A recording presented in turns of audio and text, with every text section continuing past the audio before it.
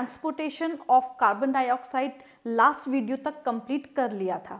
इस वीडियो में हम पढ़ेंगे रेगुलेशन ऑफ़ ब्रीदिंग जो कि अपने आप में एक बहुत ही इंपॉर्टेंट टॉपिक है। रेगुलेशन ऑफ़ ब्रीदिंग का मतलब क्या होता है? जो ब्रीदिंग है, एक वॉलेंट्री और इनवॉलेंट्री प्रोसेस है। वॉलेंट्री हम इसलिए कह सकते हैं इसको कि टेम्परेली हम इस एक्शन को कंट्रोल कर सकते हैं। तो इसको वॉलेंट्री ना बोल के हम बोलते हैं इन वॉलेंट्री प्रोसेस और हमारी बॉडी में जो भी इनवॉलेंट्री प्रोसेसेस हैं, उनको कंट्रोल करते हैं हमारी बॉडी के नर्वस सिस्टम और हमारी बॉडी का chemical coordination so here the regulation of breathing is of two types the neural regulation as well as the chemical regulation जैसा कि शब्द न्यूरल से हमें समझ में आ रहा है कि ऐसा रेगुलेशन जिसमें नर्वस सिस्टम इन्वॉल्व है। और केमिकल रेगुलेशन का मतलब है जहाँ पे केमिकल्स या कीमो रिसेप्टर्स का इन्वॉल्वमेंट है।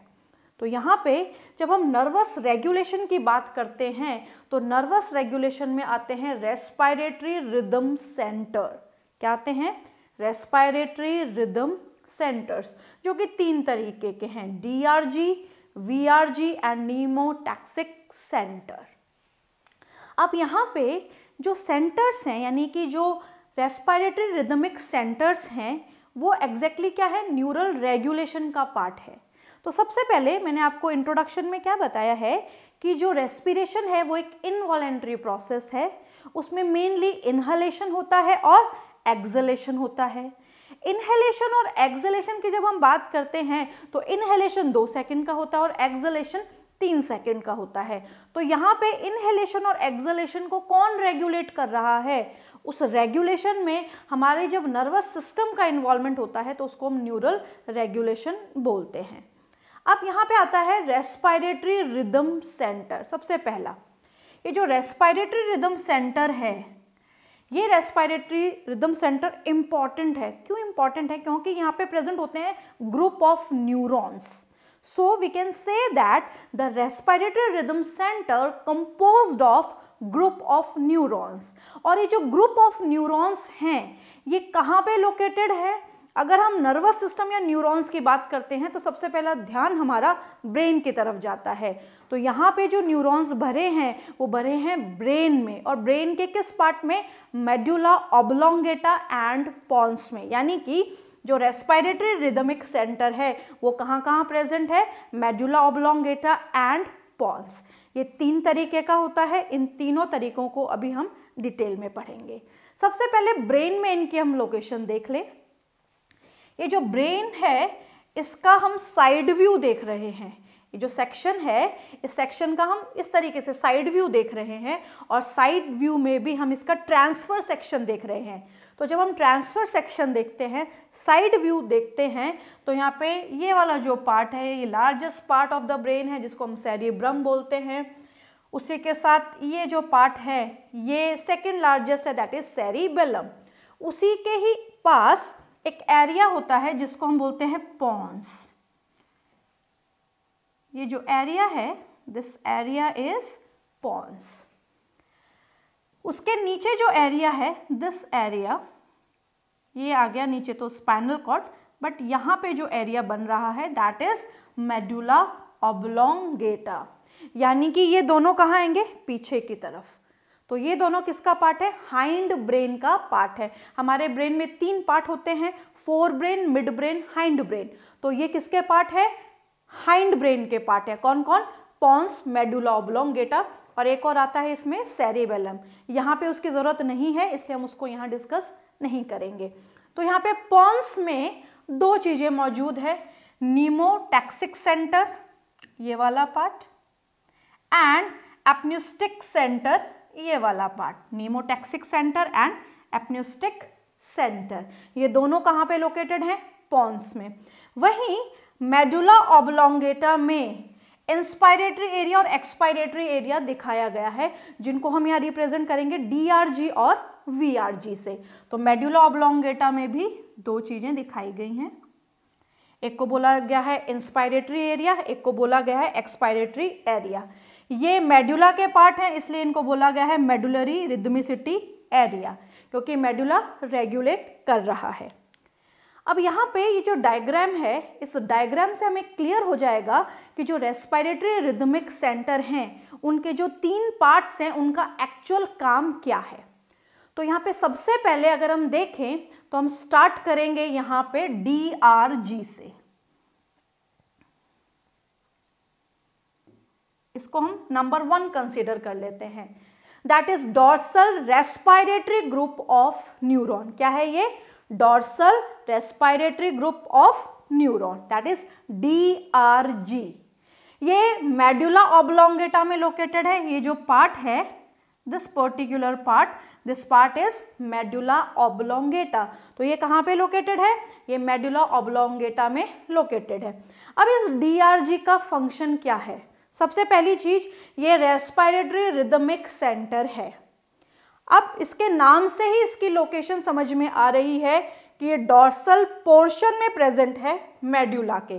कहाँ पे प्रेजेंट है मेड्यूला के? डॉर्सल पोर्शन में, क्योंकि यहाँ पे डॉर्सल वर्ड आ रहा है। अब इस डॉर्सल पोर्शन में क्या प्रेजेंट है? यहाँ पे प्रेजेंट है इंस्पायरेटरी एरिया यहाँ पे क्या प्रेजेंट है? इंस्पायरेटरी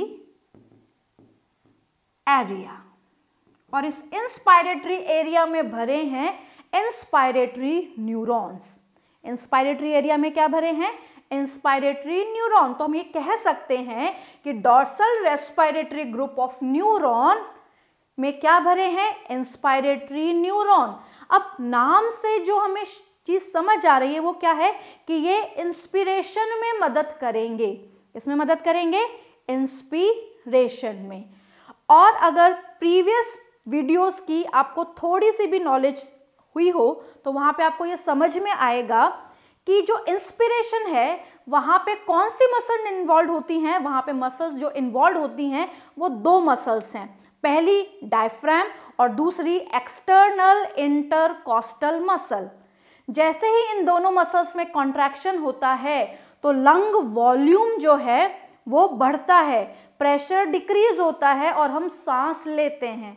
तो यहाँ पे ये जी क्या करेगा? ये डी इनहेलेशन को प्रमोट करेगा, यानी कि इनहेलेशन को रेगुलेट करेगा, क्योंकि इसका जो इंस्पायरेटरी एरिया है और उस एरिया में जो इंस्पायरेटरी न्यूरॉन है, वो क्या करेंगे? वो दोनों बेसिकली दो एरियाज़ को क्या करेंगे? स्टिमुलेट करेंगे, और दो एरियाज़ में एक है डायफ्राम और एक है ई आई सी एम अब यहाँ पे ये जो दोनों मसल्स हैं इन मसल्स के पास सिग्नल कैसे आया, ये बात बहुत इंपॉर्टेंट है। जो हमारा नर्वस सिस्टम है, ये कंप्यूटर की तरह काम करता है। इसके पास इंफॉर्मेशन आती है, ये प्रोसेस करता है और फिर ये इंफॉर्मेशन बाहर जाती है।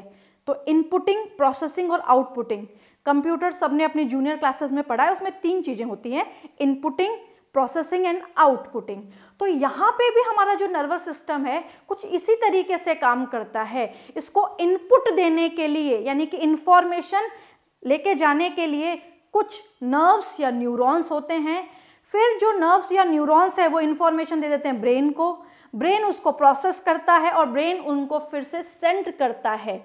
तो जो भी इंफॉर्मेशन ब्रेन के पास जाती है ब्रेन के पास जो जाती है, वो होती है सेंसरी इंफॉर्मेशन और ऐसी इम्पल्स को हम बोलते हैं सेंसरी इम्पल्स क्या बोलते हैं इनको? सेंसरी इम्पल्स तो ब्रेन के पास, यानी कि ये क्या है? मेडुला ऑब्लोंगेटा पॉन्स सेरिब्रम क्या है ये? ब्रेन के पार्ट्स हैं. तो इनको इंफॉर्मेशन देने के लिए, यानी कि इनको सेंसरी इम्पल्स देने के लिए नर्व्स होती हैं। तो ब्रेन के साथ जो नर्व्स हैं, उनको हम बोलते हैं क्रैनियल नर्व, जो कि 12 पेयर्स हैं। तो 12 पेयर में से जो वैगस नर्व है और ग्लॉसोफ्रेंजियल जो नर्व है, वो दोनों नर्व्स क्या करती हैं? लंग्स से सेंसरी इम्पल्स। यहाँ पे इम्पल्स का क्या मतलब है? यहाँ पे इम्पल्स का मतलब है सिग्नल्स। सिग्नल्स कौन लेके जा रहा है? न्यूरॉन लेके जा रहा है। तो जब न्यूरॉन सिग्नल्स लेके जाता है, ब्रेन के पास या लेके आता है ब्रेन से तो उनको हम इम्पल्स बोलते हैं। तो ये जो इम्पल्स है, ये लंग से लेके जा रही है, सेंसरी इम्पल्स जो जा रही है, वो कहाँ पे जा रही है? वो जा रही है मेडुला के पास। मेडुला में कहाँ पे? डी के पास। डीआरजी क्या करेगा? इसको प्रोसेस करेगा। और ये किसको स्टिमुलेशन के लिए भेजेगा? डायफ्राम के और ई e के स्टिमुलेशन के लिए भेजेगा। यानी कि डीआरजी से जो इंफॉर्मेशन या इंपल्स आएगी, उस इंपल्स के कारण डायफ्राम और एक्सटर्नल इंटरकोस्टल मसल्स कॉन्ट्रैक्ट करेंगी। तो यहाँ पे मेड्यूला से इंफॉर्मेशन आई। जो इंफॉर्मेशन आती है, उसको बोलते हैं मोटर इम्पल्स। क्या बोलते हैं उसको? Motor impulse. तो सेंसरी लंग्स ने दी ब्रेन को। ब्रेन ने उसको प्रोसेस की और आई मोटर इम्पल्स की फॉर्म में। और जैसे ही मोटर इम्पल्स की फॉर्म में आएगी डायफ्राम और ई e कॉन्ट्रैक्ट करेगा। और यहाँ पे मेडुला का कौन सा पार्ट इसमें इन्वॉल्व है? इंस्पिरेशन में डी आर जी इन्वॉल्व है। तो ये तो हो गई पहले हिस्से की बात। फिर हम बात करेंगे second part that is V R G ventral respiratory group of neuron ventral respiratory group of neuron जैसा कि नाम है तो इसकी लोकेशन भी यहीं समझ में आ रही है वेंट्रल बट इसके साथ ये लेटरल साइड पे भी है तो इसकी लोकेशन आ जाती है ventrolateral what is the location ventrolateral अब जैसे डीआरजी में ग्रुप था, यानी कि डीआरजी के पास एक एरिया था, उस एरिया में न्यूरॉन भरे थे, इसके पास भी एरिया है। उसमें भी न्यूरॉन भरे हैं, क्योंकि आपको एक बात हमेशा ध्यान रखनी है कि अगर ब्रेन है स्पाइनल कॉर्ड है नर्व्स है तो तीनों जगह न्यूरॉन्स भरे हैं और इन्फॉर्मेशन लाने और ले जाने का काम ही करते हैं। तो ये ब्रेन का पार्ट है, क्योंकि रेगुलेशन ऑफ़ ब्रीदिंग में हम ब्रेन से रिलेटेड रेगुलेशन पढ़ रहे हैं। और उसमें भी अगर मेडुला की बात करें तो भी वहाँ पे क्या है? सेंटर्स है, उन सेंटर्स में भी क्या है? न्यूरॉन्स भरे हैं। So here in the V R G V R G में भी सेंटर है। यहाँ पे वी आर जी में दो सेंटर्स हैं। इंस्पायरेटरी सेंटर भी है एंड एक्सपायरेटरी सेंटर भी है। यानी कि इनके पास दो सेंटर्स हैं इंस्पायरेटरी एंड एक्सपायरेटरी तो नाम से समझ में आ रहा है? इंस्पायरेटरी सेंटर यानी कि इनमें भरे हैं इंस्पिरेशन के लिए, उनको स्टिमुलेट करने के लिए न्यूरॉन्स सो हम यहाँ पे क्या बोलेंगे? इस सेंटर में भरे हैं इंस्पिरेटरी न्यूरॉन क्योंकि सेंटर का नाम है इंस्पिरेटरी सेंटर और एक्सपायरेटरी सेंटर में भरे हैं एक्सपायरेटरी न्यूरॉन्स। अब काम भी समझ में आ रहा होगा कि ये इनहेलेशन करा रहे हैं, ये एक्सलेशन करा रहे हैं, बट कंडीशन अलग है। एक होता है नॉर्मल इनहेलेशन और नॉर्मल एक्सलेशन, कि एक आदमी ने नॉर्मली सांस लिया और नॉर्मली एक्जेल आउट कर दिया। तो यहाँ पे एक्सेल जब करते हैं तो एक्सेलेशन एक पैसिव प्रोसेस है। वहाँ पे किसी भी प्रकार की कोई मसल का कोई इन्वॉल्वमेंट नहीं है। बट जब फोर्सफुल इनहेलेशन होता है या फोर्सफुल एक्सेलेशन होता है तो मसल इन्वॉल्व होती हैं। और मसल्स के पास इंफॉर्मेशन पहुंचाना ज़रूरी है। किस तरीके से आएगी इंफॉर्मेशन रास्ता वही रहेगा। पहले लंग से इंफॉर्मेशन जाएगी। फिर ब्रेन के सेंटर्स एक्टिवेट होंगे और फिर ब्रेन से इंफॉर्मेशन वापस भी आएगी। रास्ते वही रहेंगे। सेंसरी इंफॉर्मेशन जाती है प्रोसेस होती है और मोटर इंफॉर्मेशन है कि मोटर इम्पल्स वापस आती है। यहाँ पे भी सेम वही चीज़ होगी बट कंडीशन अलग अलग है। इंस्पिरेशन में अलग होगी एक्सपिरेशन में अलग होगी। अब यहाँ पे कंडीशन क्या है कि जब फोर्सफुल इनहेलेशन करना होगा तो चाहे इन्हेलेशन कैसा भी हो नॉर्मल हो फोर्सफुल हो जो मसल है, वो है डायफ्राम और ई आई सी एम यानी कि यहाँ के जो न्यूरॉन्स हैं, वो डायफ्राम और ई आई सी एम को क्या करेंगे? स्ट्यूमुलेट करेंगे कॉन्ट्रैक्शन के लिए। और इसका जो इंस्पायरेटरी सेंटर है, वो इन दोनों मसल्स के कोऑर्डिनेशन के लिए जिम्मेदार है, यानी कि इन दोनों मसल्स के कॉन्ट्रैक्शन के लिए जिम्मेदार है। फिर हम बात करते हैं एक्सपायरेटरी एरिया की। एक्सपायरेटरी एरिया कौन सा एक्सपायरेटरी पार्ट है ये? यानी कि यहाँ पे जो एक्सपिरेशन हो रहा है, वो हो रहा है फोर्सफुल एक्सपिरेशन फोर्सफुल एक्सपिरेशन में एडिशनल मसल्स इन्वॉल्व हो जाती हैं क्योंकि ज़ोर से एक्सपिरेशन कर रहे हैं। तो जब फोर्सफुल एक्सलेशन होता है तो जो मसल्स इन्वॉल्व होती हैं, वो होती हैं abdominal muscles and I I C M internal intercostal muscles तो यहाँ पे हमें क्या बात समझ में आई? हमें यहाँ पे एक बात ये समझ में आई है कि डीआरजी केवल नॉर्मल इन्हेलेशन के लिए जिम्मेदार है, क्योंकि इसमें इंस्पायरेटरी एरिया में इंस्पायरेटरी न्यूरॉन भरे हैं, जो नॉर्मल इन्हेलेशन करा रहा है। फिर वहीं अगर नॉर्मल एक्सलेशन की बात करें तो नॉर्मल एक्सलेशन एक प्रकार का पैसिव प्रोसेस है बट VRG के पास इंस्पायरेटरी एरिया भी है, एक्सपायरेटरी एरिया भी है। और inspiratory area forceful expire, forceful inspiration में मदद करता है और एक्सपायरेटरी एरिया फोर्सफुल एक्सपिरेशन में मदद करता है। यानी कि वी आर जी कोई भी काम कराएगा, वो फोर्सफुल रेस्पिरेशन के वक्त ही कराएगा। और यहाँ पे सारी मसल्स के कॉन्ट्रैक्शन होंगे। इनहेलेशन में डायफ्राम एंड ईआईसीएम का एंड एक्सलेशन में abdominal muscle and IICM that is internal intercostal muscles इन सारी कंडीशंस को एक बार हम फिर से स्टडी करते हैं। D R G normal inspiration में काम करता है और कॉन्ट्रैक्शन कराता है external intercostal muscle and diaphragm का। V R G forceful inspiration and forceful expiration कराता है और जब भी फोर्सफुल इंस्पिरेशन होगा तो एक्सटर्नल इंटरकॉस्टल मसल और डायफ्राम का कॉन्ट्रैक्शन होगा और जब फोर्सफुल एक्सपिरेशन होगा तो कॉन्ट्रैक्शन होगा आईआईसीएम का एंड एब्डोमिनल मसल्स का। चार cases normal inspiration DRG normal expiration एक पैसिव प्रोसेस है। कोई भी मसल का इन्वॉल्वमेंट नहीं होता है, यानी कि कोई भी मसल्स का कॉन्ट्रैक्शन नहीं होता है। फोर्सफुल इंस्पिरेशन और फोर्सफुल एक्सपिरेशन वीआरजी कराता है। तो ये चार कंडीशंस हमने यहाँ पढ़ी और ये जो चारों कंडीशन हैं, ये डील करती हैं रेस्पायरेटरी रिदमिक सेंटर से। रेस्पायरेटरी रिदमिक सेंटर जो अभी हमने स्टडी किए हैं, वो हैं मेडुला के। अब जो हम स्टडी करने जा रहे हैं, वो हैं पॉन्स के। Pneumotaxic centre pneumotaxic centre basically located in the pons कहाँ पे लोकेटेड होता है? ये पॉन्स में लोकेटेड होता है। ये पॉन्स का एरिया है और पॉन्स के एरिया में यहाँ पे जो प्रेजेंट है, वो है नीमोटैक्सिक सेंटर ये वाला part this part is pneumotaxic centre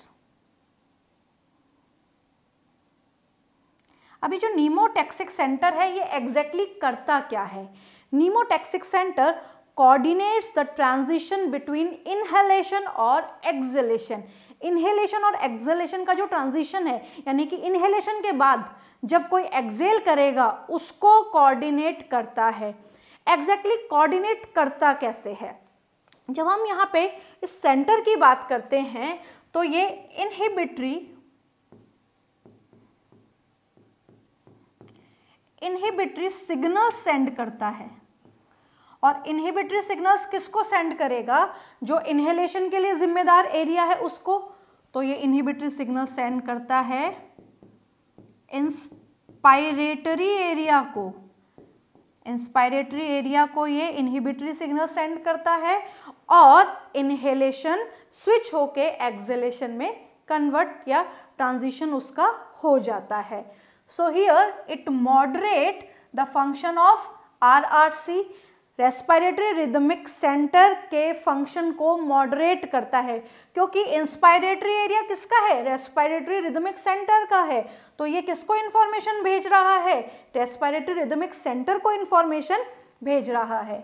Duration of inspiration in decreases ये इंस्पिरेशन की ड्यूरेशन को कम करता है। कम किस तरीके से कर रहा है?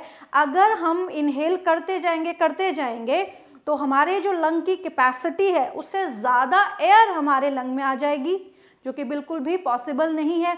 एल्वियोलाइज बस्ट हो सकती हैं तो उसको रोकने के लिए ये क्या करता है? ये इंस्पिरेशन को डिक्रीज करता है और यहाँ पे एक्सलेशन इंसान करने लगता है। Rate of respiration increases respiration की रेट को इंक्रीज करता है क्योंकि इनहेल करने के बाद तुरंत व्यक्ति एक्सेल करता है, उसको ये प्रमोट करता है। उसी के साथ एक और एरिया यहाँ पे पॉन्स में लोकेटेड है। This area this is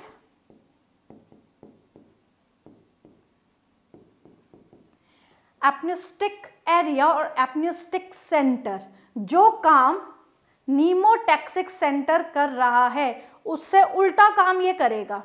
ये क्या कर रहा है? इंस्पिरेशन को शॉर्ट कर रहा है।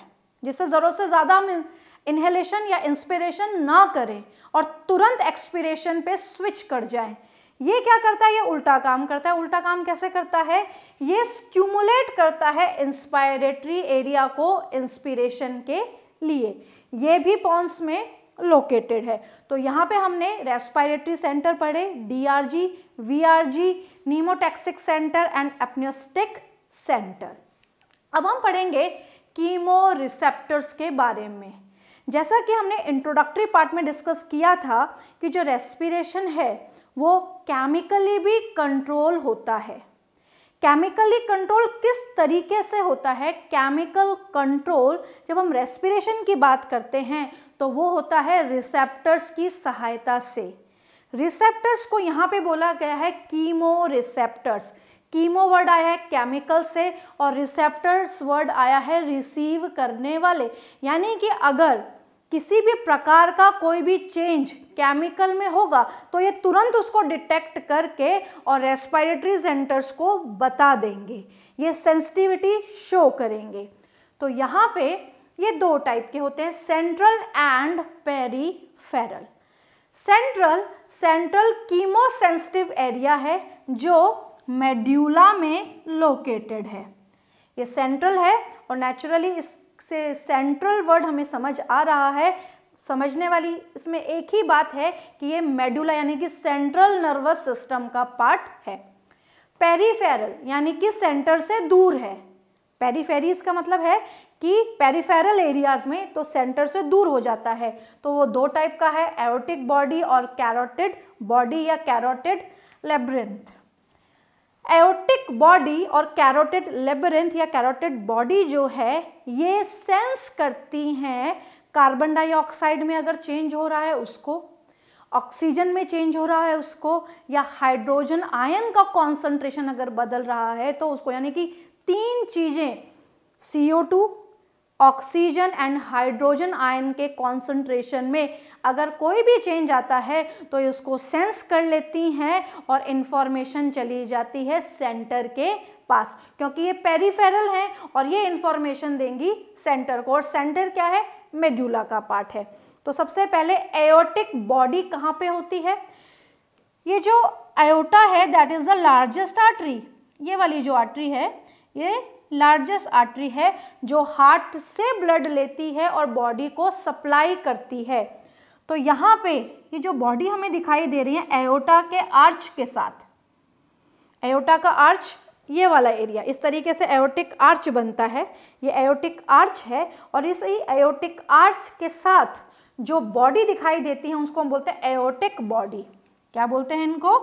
एयोटिक बॉडी और वहीं से फिर ये एक्सटेंड होती हैं आर्टरीज और ऊपर नेक तक आती हैं। तो यहाँ पे बनती है कैरोटिड बॉडी या कैरोटिड लेब्रिंथ तो यहाँ पे ये बनाती हैं पेरिफेरल और सेंट्रल जो मेडुला में प्रेजेंट है वो बनाता है सेंट्रल कीमोसेंसिटिव एरिया ये जो एरियाज़ हैं, ये डिफरेंट डिफरेंट केमिकल्स को रिसीव करते हैं। ये एरियाज़ किसको रिसीव करते हैं? डिफरेंट डिफरेंट केमिकल्स को रिसीव करते हैं। केमिकल्स को रिसीव करने का मतलब यहाँ पे क्या है?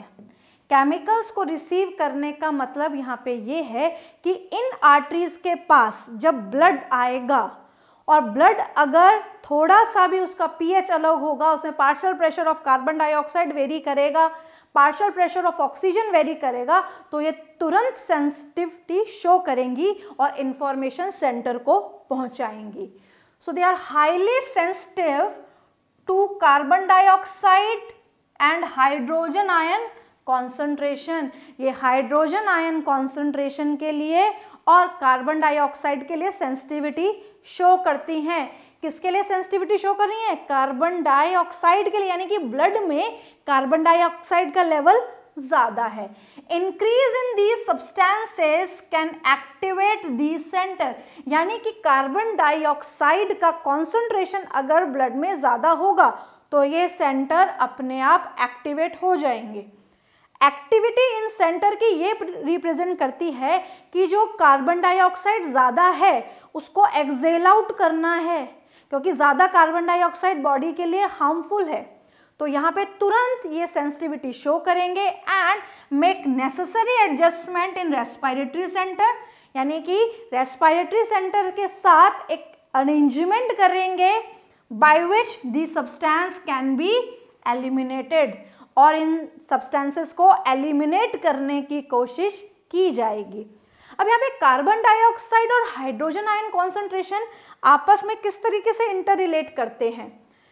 जब कार्बन डाइऑक्साइड ब्लड में डिफ्यूज होती है तो इसकी सॉलिबिलिटी ज़्यादा है। ये वाटर के साथ रिएक्ट कर जाती है और बनाती है कार्बोनिक एसिड ये बनाती है कार्बोनिक एसिड ये जो कार्बोनिक एसिड बनता है, ये डिसोसिएट हो जाता है तुरंत। फटाफट ये डिसोसिएट हो जाता है। कार्बोनिक एनहाइड्रेस की प्रेजेंस में बनता है और डिसोसिएट भी कार्बोनिक एनहाइड्रेस की प्रेजेंस में होता है और डिसोसिएट होके ये बनाता है H positive ion and H C O three negative ions यानी कि हाइड्रोजन आयन की कॉन्सेंट्रेशन कार्बन डाइऑक्साइड के लेवल से डील कर रही है डायरेक्टली यानी कि CO2 का लेवल ज़्यादा तो हाइड्रोजन आयन का कॉन्सेंट्रेशन भी ज़्यादा। और जैसे हाइड्रोजन आयन का कॉन्सेंट्रेशन ज़्यादा है तो पीएच कम हो जाएगा। ब्लड में पीएच कम होते ही ये जो एरियाज़ हैं, ये सेंसिटिव हो जाते हैं और कार्बन डाइऑक्साइड को एक्सेल करने की कोशिश की जाती है। साइड बाय साइड पीएच को भी रेगुलेट किया जाता है। Role of oxygen in the regulation of respiratory rhythmic centre is quite insignificant oxygen का जो रोल है, वो यहाँ पे बहुत ज़्यादा नहीं बताया गया है। मेनली यहाँ पे बताया गया है कार्बन डाइऑक्साइड के लिए सेंसिटिविटी तो यहाँ पे हमने पढ़े कीमो रिसेप्टर्स के बारे में, जो कि केमिकल कोऑर्डिनेशन में मदद कराते हैं, कि केमिकल रेगुलेशन ऑफ़ ब्रीदिंग करते हैं। इसके बाद एक और टॉपिक है that is Hering Breuer reflex arc एक छोटा सा टॉपिक है। इस टॉपिक में सबसे पहले ये रिफ्लेक्स आर्च होते क्या हैं और कहाँ पे काम करते हैं। In the wall of terminal bronchioles जो टर्मिनल ब्रोंकियोल्स हैं, उनकी वॉल पे लोकेटेड है। स्ट्रेच रिसेप्टर्स आर प्रेजेंट ये स्ट्रेच रिसेप्टर्स प्रेजेंट होते हैं। इन रिसेप्टर्स को बेसिकली जो इन सेंटर्स को रेगुलेट करते हैं, वो स्ट्रेच रिसेप्टर्स होते हैं। स्ट्रेच रिसेप्टर्स एग्जैक्टली काम कैसे करते हैं? जब हम इनहेल करते हैं तो इनहेलेशन की वजह से जो हमारा लंग वॉल्यूम है, वो क्या हो रहा है? इनहेलेशन के वक्त क्या हो रहा है? एक बार के लिए तो मसल्स कॉन्ट्रैक्ट हो रही हैं, यानी कि ई e और डायफ्राम का कॉन्ट्रैक्शन हो रहा है। कॉन्ट्रैक्शन की वजह से वॉल्यूम जो है इंक्रीज हो रहा है प्रेशर डिक्रीज हो रहा है। प्रेशर किसका डिक्रीज हो रहा है? इंट्रा पल्मोनरी प्रेशर डिक्रीज हो रहा है और हम इनहेल कर लेते हैं। और इनहेल जैसे ही हम करते हैं तो लंग्स जो हैं, वो एक्सपेंड हो जाते हैं। अब यहाँ पे क्या होगा कि लगातार हम इनहेल कर रहे हैं और लगातार इनहेल करने से क्या होता है, जो यहाँ पे स्ट्रेच रिसेप्टर्स हैं, वो एक्टिवेट हो जाते हैं। अब ये क्या करते हैं? ये एक्टिवेट होके जो लगातार इनहेलेशन हो रहा है, यानी कि जो लंग की कैपेसिटी उससे ज़्यादा इनहेलेशन हो रहा है तो इसकी वजह से क्या होता है कि जो एल्वियोलाइज हैं, वो बस्ट हो सकती हैं लंग्स बस्ट हो सकते हैं तो इसको रोकने के लिए यहाँ पे ये सेंसिटिविटी शो करते हैं। So which are normally inactive ये जो रिसेप्टर्स होते हैं स्ट्रेच रिसेप्टर्स बोलते हैं इनको, ये नॉर्मली इनएक्टिव होते हैं। नॉर्मली इनएक्टिव क्यों होते हैं? क्योंकि हम एक कैपेसिटी से इनहेल करते हैं टाइडल वॉल्यूम और उसी से ही हम एक्सेल करते हैं। 500 हंड्रेड हम नॉर्मल इनहेल और नॉर्मल एक्सेल करते हैं। They become active when alveoli are filled with maximum air. ये एक्टिव होते हैं जब बहुत ज़्यादा मैक्सिमम एयर एल्वियोलाई में भरी होती है तब। The हायरर Breuer reflex arc now become activated and send inhibitory signals यानी कि ये जो रिफ्लेक्स आर्क है ये क्या करेगा? इनहिबिटरी सिग्नल सेंड करेगा और इनहिबिटरी सिग्नल सेंड किए जाएँगे और इनहेलेशन या जो रेस्पिरेशन है उसको रोका जाएगा। So they become activated and send inhibitory signals to the inspiratory centres जो इंस्पायरेटरी सेंटर्स थे, उनको इंफॉर्मेशन भेजी जाएगी और बोला जाएगा कि इंस्पिरेशन को रोको। अगर ऐसा नहीं होगा तो वही एल्वोलाइज बस्ट होने के चांसेस हो सकते हैं। Centre to switch off inspiration and this prevent the alveoli from over stretching and bursting ये एल्वियोलाई को ओवर स्ट्रेच होने से भी बचाते हैं और बस्टिंग से भी बचाते हैं। This higher brural reflex arch is a protective reflex which works only when the normal mechanism of breathing और inhalation or inspiration does not work timely. ये कब होता है? जब normally inhalation जो है या एक्सेलेशन जो है अपना काम टाइमली नहीं कर रहा, यानी कि एयर इनहेल करते जा रहे हैं और एयर लंग्स में अपनी कैपेसिटी से ज़्यादा भरती जा रही है। उस वक्त ये स्ट्रेच रिसेप्टर्स बहुत ज़्यादा एक्टिव होके काम करते हैं। तो यहाँ पे हमने पढ़ा कि किस तरीके से रेस्पिरेशन का रेगुलेशन हो रहा है कौन कौन से सेंटर्स यहाँ पे प्रेजेंट है जो रेस्पिरेशन को रेगुलेट कर रहे हैं।